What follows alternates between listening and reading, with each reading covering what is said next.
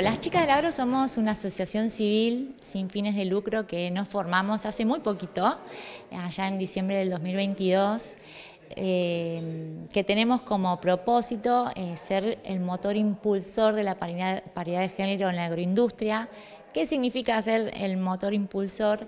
Eh, un poco es nuclear esfuerzos de tanto eh, empresas privadas, instituciones públicas como la comunidad de mujeres, eh, en pos de integrar, acompañar a más mujeres que se inserten en la agroindustria y que puedan realizar su trayectoria profesional eh, dentro de la industria. Una industria que tiene una amplia variedad de oportunidades, sin embargo, eh, la paridad de género todavía es bastante lenta.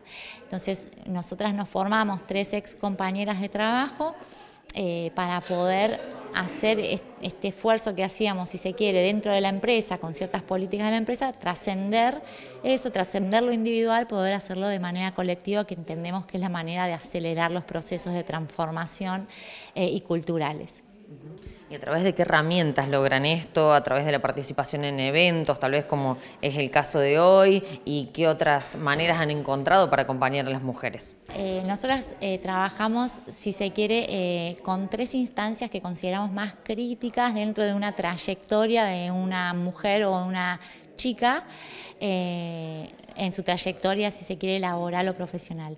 Por un lado, trabajamos con escuelas, tenemos eh, un proyecto que se llama LSA, Las Chicas del Agro en Escuelas, donde acercamos herramientas de autodescubrimiento, en esto de que es una estancia muy crítica donde las chicas tienen, si se quiere, que decidir a qué, quieren estudiar, qué oficio quieren estudiar, qué carrera quieren desarrollar, más allá que después puedan volantear como todos, digamos.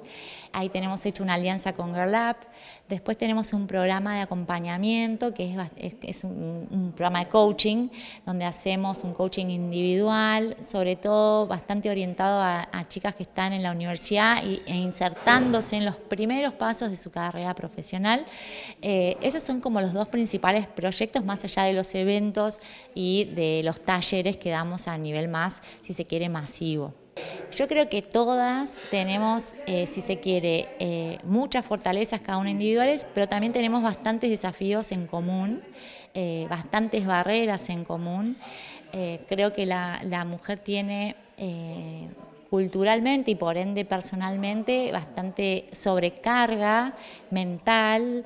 eso hace que muchas veces tal vez haya como un tubo de escape, o sea, para figurártelo, la, tal vez una mujer ingresa al mercado laboral y por algún motivo se fuga. ¿no? Eh, no logra hacer una, carrera eh, sostenida en el tiempo, maternidad, cuestiones eh, asociadas a, barreras más culturales sobre este oficio o este trabajo no es para mí. Bueno, hoy por hoy, gracias a la tecnología, a, que realmente la, industria está necesitando de una amplia diversidad de recursos y habilidades que por supuesto tenemos las mujeres, la buena noticia es que hay oportunidades.